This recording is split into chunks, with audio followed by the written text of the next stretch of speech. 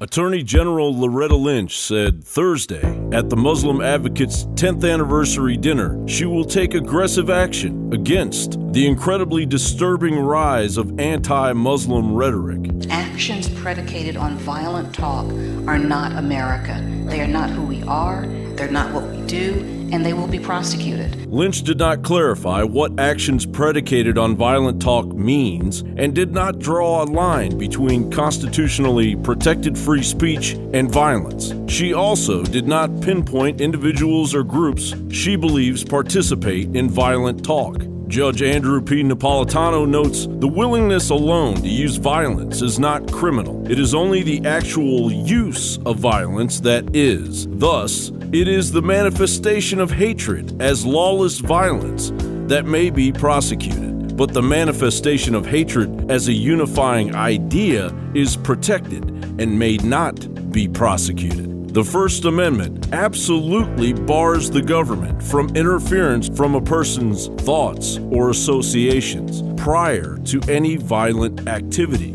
Lynch's recent grandstanding before a Muslim group reveals the Justice Department and the Obama administration are promoting the so called social justice agenda at the expense of the Constitution and the First Amendment. It also underscores the collectivist idea that government has the authority, enforced by its monopoly of coercion and violence, to protect the rights of preferred groups at the expense of the rights of the individual.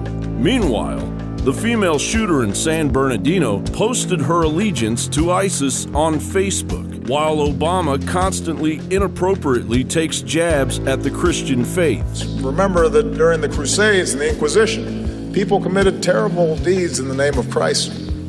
Less than loving expressions by Christians?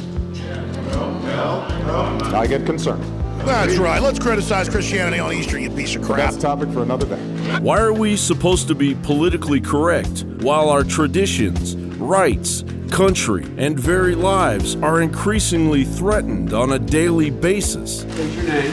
I, Loretta Elizabeth Lynch, Do solemnly swear do solemnly swear that I will support and defend that I will support and defend the Constitution of the United States the Constitution of the United States against all enemies, against all enemies, foreign and domestic, foreign and domestic, that I will bear true faith that I will bear true faith. and allegiance to the same, and allegiance to the same, that I take this obligation freely. That I take this obligation freely. Without any mental reservation. Without any mental reservation. Or purpose of evasion, or purpose of evasion, that I will well and faithfully discharge that I will well and faithfully discharge the duties of the office the duties of the office on which I am about to enter. of which I'm about to enter. So help me God. So help me. Attorney General Loretta Lynch, you do remember swearing in on Frederick Douglass's Christian Bible at your request. You do know it was Frederick Douglass who famously said, I would unite with anybody to do right and with nobody to do wrong. The protection of religious freedom is the cornerstone of American society. And of course, not all Muslims are hell bent on jihad, but it turns out a percentage of them are. And those psychopaths are in the United States and mixed in with the refugees streaming in as I speak.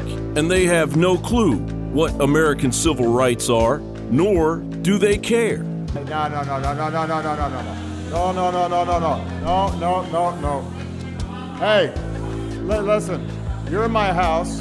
No, President Obama, this is our house. Jon Bowne for Infowars.com.